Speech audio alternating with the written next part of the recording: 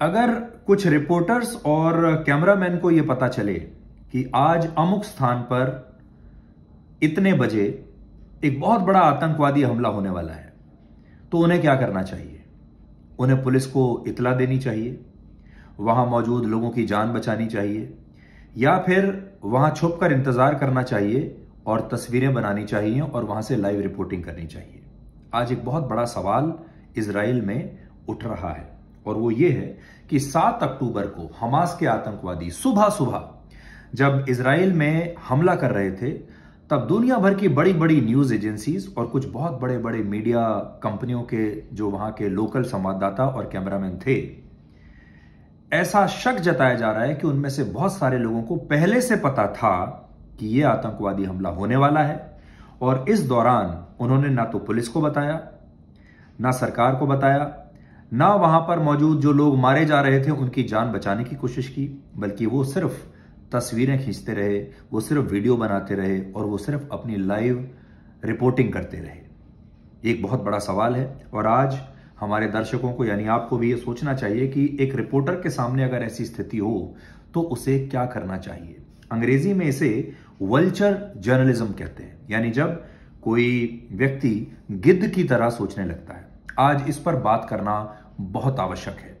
दर्शकों के लिए भी इस पर सोचना बहुत आवश्यक है कि एक दर्शक के तौर पर आप क्या चाहेंगे कि कोई रिपोर्टर अगर है, ऐसे स्थान पर जहाँ कोई हमला हो रहा है तो आप उस जगह की तस्वीरें पहले देखना चाहते हैं, या फिर आप ये चाहेंगे कि वहाँ पर लोगों की जान बचाई जाए।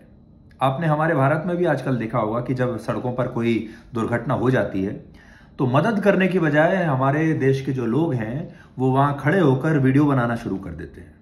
आज इस पर हम बात करेंगे, क्योंकि एक बहुत बड़ी समस्या बनता जा रहा है। इसके बाद आपको बताएँगे कि ये साल पिछले एक लाख पच्चीस हज़ार वर्षों में सबसे गर्म साल रहा है। देखिए, दिवाली आने वाली है, नवंबर का महीना है, और अभी भी आपने अपने गर्म कपड़े नहीं निकाले होंगे। आखिर इतनी गर्मी पड़ क्यों रही है? इसके बारे में आज बात करेंगे। पोल्यूशन अब एक ऐसा मुद्दा बन गया है कि दिल्ली के लोगों ने इसे स्वीकार कर लिया है। अब वो जानते हैं कि अब इस धुएँ के साथ, इस प्रदूषण के साथ ही जीना है।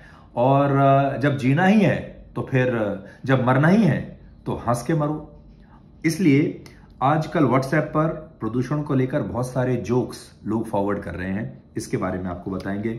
और आखिर में, अगर आप डिप्रेस्ड महसूस करते हैं, अगर आप निराश रहते हैं तो आज को आपको एक मुफ़्त का इलाज बताएँगे।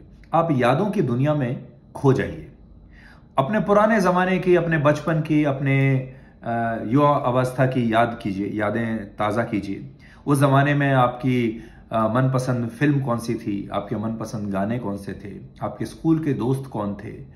ऐसे स्थानों पर जाइए जो आपको आपके बचपन या जवानी की याद दिलाते हैं। और यकीन मानिए, अगर आप अपने अतीत में जाएँगे और अपने अतीत में घटित कुछ अच्छी घटनाओं को याद करेंगे तो आपको वाकई में बहुत खुशी मिलेगी। और ये सब कुछ मुफ़्त है। तो मिलते हैं आज रात नौ बजे ब्लैक एंड व्हाइट में आज तक पर।